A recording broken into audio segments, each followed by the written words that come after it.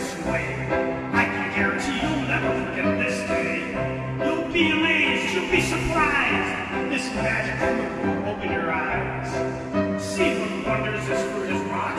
Have you ever heard a serpent talk? Do not fear what God has said. I the